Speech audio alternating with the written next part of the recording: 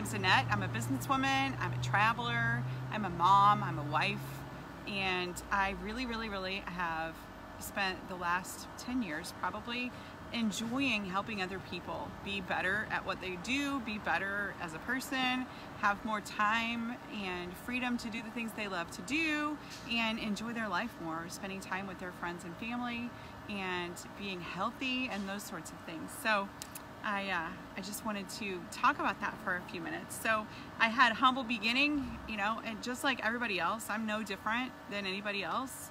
As a matter of fact, everybody thought that I was never going to be anything. I was just going to be some high school dropout. I was pregnant at 15. I told my mom I was pregnant on my 16th birthday.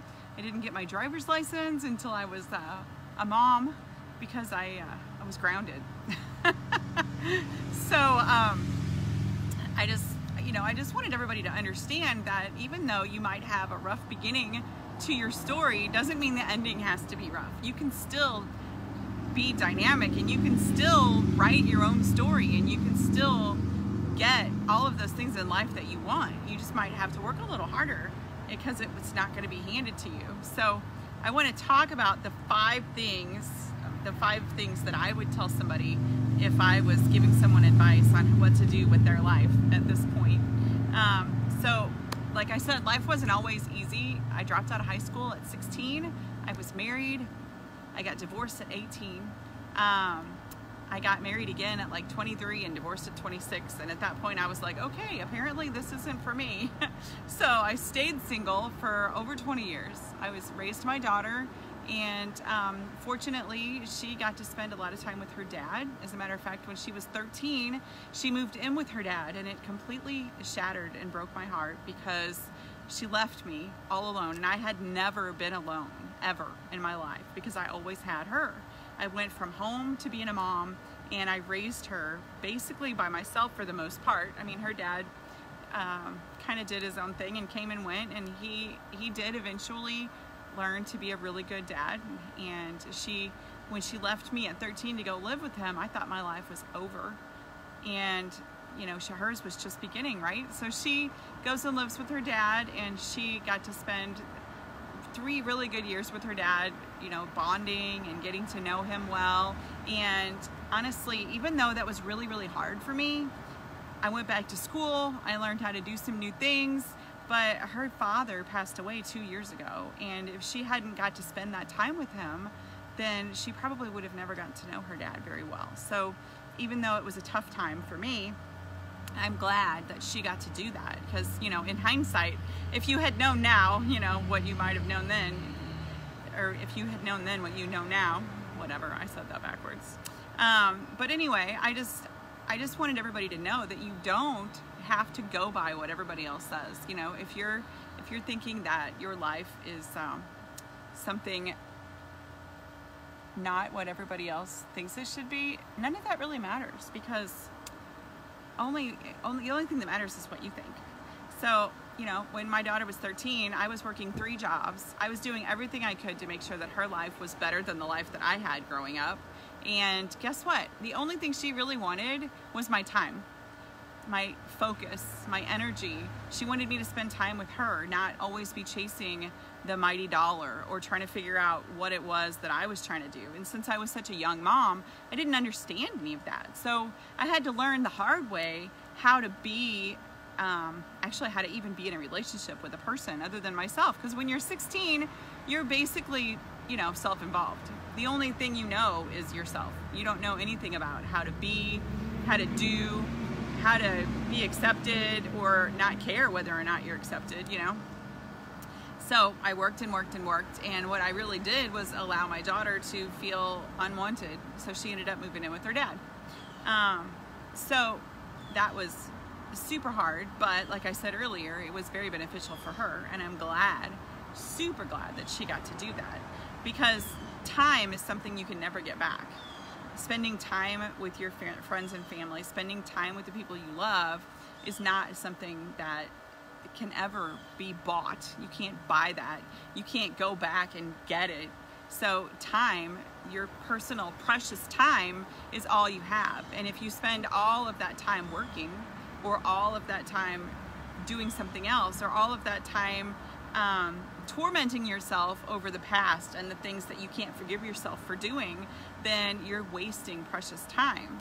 So, part of my problem growing up was that I spent all my time worrying about people judging me because I was such a young mom.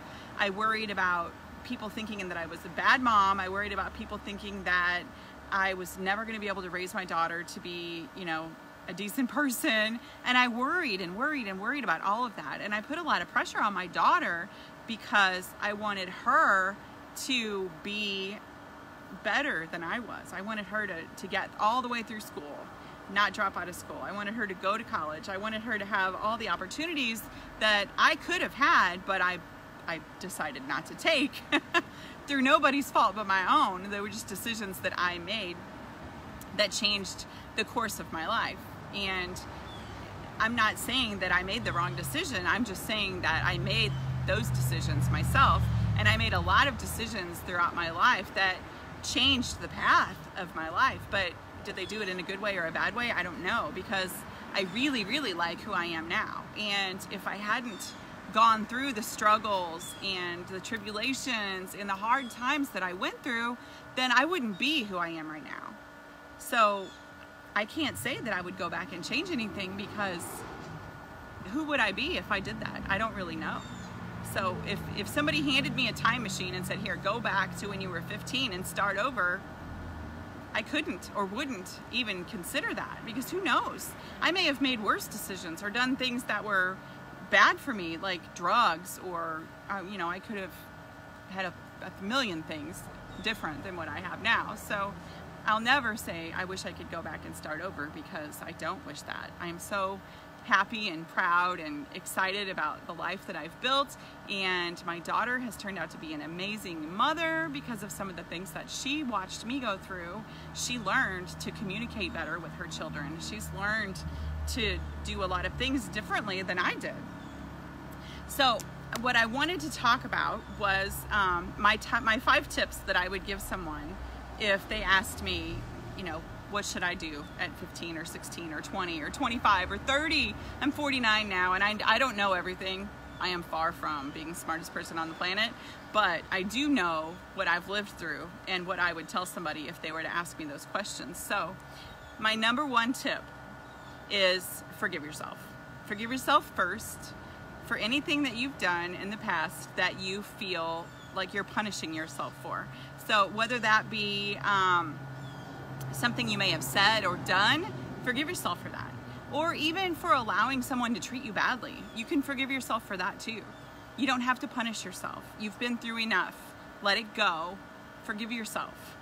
And then forgive all those people that were involved for whatever reason. So forgive yourself first and then forgive everyone else. And once you do that, you will um, you'll learn that forgiveness is much easier than you think it is. And this video looks like it's getting dark on me. I don't know why, but I'm gonna try. Oh, I can't do that on this phone. Sorry, it's just gonna be dark. I don't know why it's doing that. Anyway, tip number two is let it go. Let it go, let it go. Just stop. Stop dwelling on the past. Stop worrying about things you can't fix if it's something that's not going to matter five years from now, you shouldn't even be worried about it. If it's something that's not going to matter six months from now, you shouldn't even be worried about it. Just let it go. Just stop. Stop already. Give up on anger. Give up on hate. Don't hold grudges. Just let it go. Tip number three dream big. Dream as big as you possibly can and speak your dreams out loud. I would not be sitting right here with palm trees behind me right now if I hadn't spoken out loud that I wanted to be here. And at the time, I didn't even know what I was doing. I just said, someday I want to work from the beaches of the world. I want to live in Florida. I want to run my business from home. Well, guess what? It happened. And I I didn't even really do anything to make it happen. It just kind of happened. So, you know, you have to speak it, dream big, and speak those dreams. Build yourself a vision board, do whatever it is that you have to do, but focus on those dreams and know that they can happen. They can. You might have to work towards them, you might have to do some things to get there, but they can happen. Number four, trust your gut. If something doesn't feel right, it probably isn't right. If something doesn't look right, it probably isn't right.